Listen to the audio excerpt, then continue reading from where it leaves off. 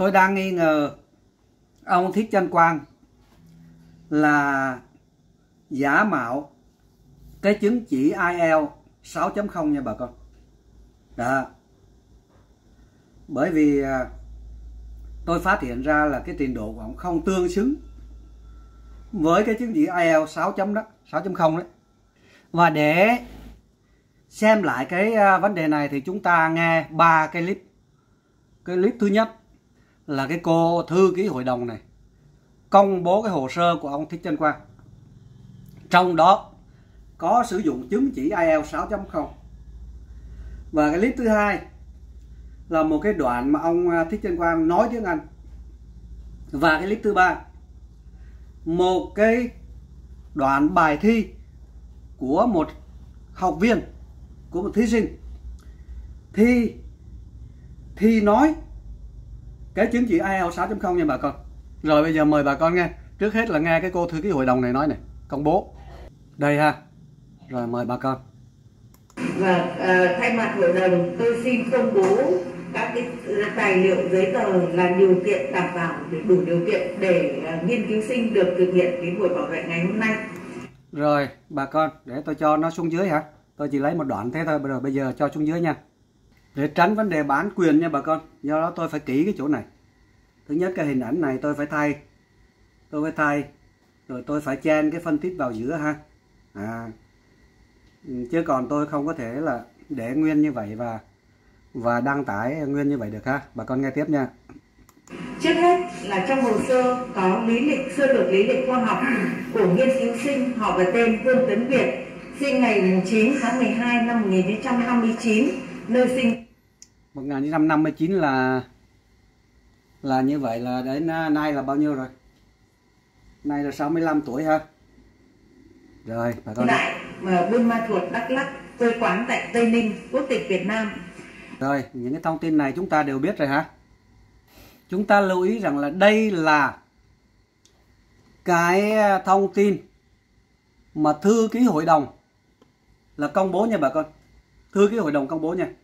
À, nhớ nha, là cái cô này đây. Bà con thấy cổ cầm một cái cái văn bản không? Thấy không? Như vậy những cái này là là thuộc loại chính thống. Có trong văn bản nha. Rồi bà con nghe tiếp nha. Xin phép tôi đổi qua cái ảnh này, không có dùng cái ảnh kia. Bởi vì nó trùng. Và trong quá trình đào tạo thì ờ, nghiên cứu sinh đã học đại học luật, ngành học là luật học, nơi học tại thành phố Hồ Chí Minh, đã tốt nghiệp học vị thạc sĩ bằng giỏi và trình ờ, có ở đây có chứng chỉ ngoại ngữ, trình độ ngoại ngữ là được IELTS 6 chấm. Rồi, chúng ta chỉ cần lấy cái chứng chỉ IELTS 6 chấm ha. Đó, có nghĩa rằng ông Thích Chân Quang đã nộp vào chứng chỉ IELTS 6 chấm. Bà con nè, ở đây tuy tôi cũng có cái sự ngạc nhiên chút xíu là vì sao ông có bằng đại học ngoại ngữ rồi mà ông vẫn nộp cái này. À, cái này hơi lạ. Và nhưng mà chúng ta cũng chấp nhận như thế là bởi vì đây là hồ sơ mà. Thấy không? Đây là hồ sơ mà, đúng không? Rồi bây giờ chúng ta tiếp. Chúng ta mở một cái đoạn mà ông Trân Quang nói tiếng Anh nha. Yeah. Để xem thử ông có đủ trình độ để thi đậu IELTS 6.0 không nha. Và sau đó chúng ta mở một cái bài thi cũng 6.0 nha. Bài thi của Hội đồng Anh nha. Chứ không phải là là, là của nơi đâu hết. Rồi mời bà con. Đây bà con nga nha, bà con nga nga nha. Nghe ông nói tiếng Anh nha. like to talking talk in you talk with you in English, but I think it's not convenient now. So I will uh, speak in uh, Vietnamese, and then you translate it, translate it into English for me try to uh, talk in you Đó. Thì uh, những người mà có biết tiếng Anh á thì nghe thì sẽ nhận à, biết dễ hơn ha. Và chúng ta thấy rằng ông nói à, phải nói là rất là lập cập. Cái này thì độ IELTS chừng chừng 3.5. IELTS chừng 3.5. Chứ nói là IELTS 6 chấm thì không bao giờ được. Ha. Bây giờ chúng ta nghe cái bài thi của IELTS 6 chấm nha. rồi xong rồi lát ờ, tôi sẽ mở mở tới, mở lui, mở tới, mở lui. Hai cái video này để cho bà con so sánh nha. Đây là một cái đoạn thi IELTS ờ, với số điểm là 6 chấm nha. Bà con thấy đây này. 6.0 đó. đó. Bây giờ để tôi mở cái đoạn mà qua qua ờ, mà người ta nói nha. Để cho bà con nghe so sánh với ông Thích Trân Quang nha. Đây, mời bà con xem nha xem một cái đoạn vừa câu hỏi và vừa câu trả lời luôn nha của thí sinh nha đây changed much much since you were a child Yes, very much. There's a lot of uh, foreigners these days. That's my city is getting popular and popular. So tourists and also a lot of people live there. moving to a new topic i'd like to discuss cooking and meals with you câu câu hỏi nha do you enjoy cooking Yes. đây là câu Why? trả, trả lời này. Why? Because I can eat whatever I want. That's the best part. Yeah.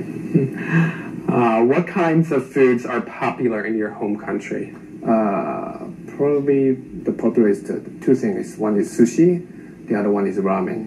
It's a noodle. okay um, why Why? Uh, à, bà con thấy không bây giờ chúng ta mở lại cái chỗ đoạn ông thích chân quang nha để xem thử hai bên trình độ nó nó như thế nào đó đúng không? Tôi thì tôi cho rằng là, là ông à, thích chân quang thì ông chỉ nói được tầm 3.0 à 3.5 thôi. À, 6 chấm phải nói như thế này. À, ông Trần Quang Thi không thể nào đổ 6 chấm IELTS tôi nói chắc luôn. À, bây giờ bà con nghe nghe lại xíu nha.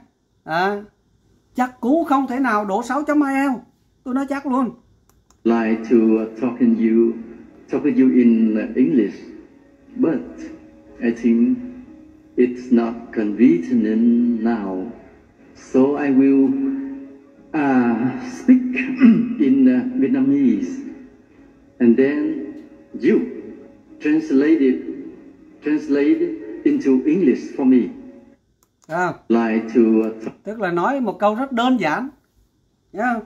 nói câu rất đơn giản à mà nói lập cập lập cập là như thế. Ông nói những câu mà phức tạp thì không thể nào nói được. À, với cái với cái mức độ nói như thế này thì không thể nói được. Đây, đây đúng không? Bà con nghe tiếp nghe nghe tiếp xíu nữa ha.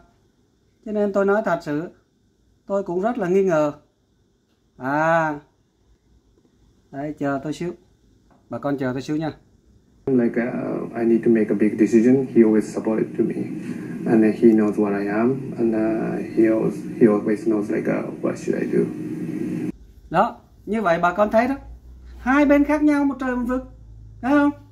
Ông chỉ nói những cái câu phổ thông nhưng mà nói là coi như là nó còn không xong nữa cơ mà. Thấy không?